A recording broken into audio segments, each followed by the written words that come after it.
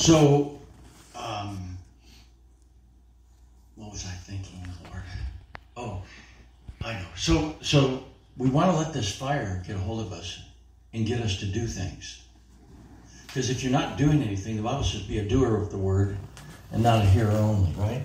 And the Lord told us that our commission is to go into all the world and preach the gospel to every person. Right? Even if you're having problems in your life, you can go. You can share. matter of fact, you should.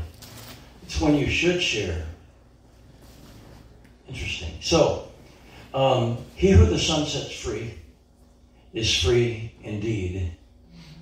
And since he set you free, you can set others free. And you know what? The whole world is looking for freedom. They're, they're afraid right now. The world is in fear, big time. And you have the answer. So today, this is what I thought was supposed to happen. And um, for a while, I wondered if it was going to happen today or not, but I think it's going to happen today as well as whenever else. So, Jason, I want you to come up and share. You already know, probably in your spirit, probably knew before the thing. but I want you to share your testimony